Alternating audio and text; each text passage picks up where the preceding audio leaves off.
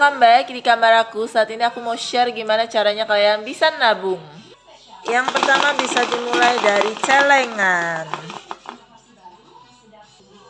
Kedua, bisa di bank digital ataupun bank biasa.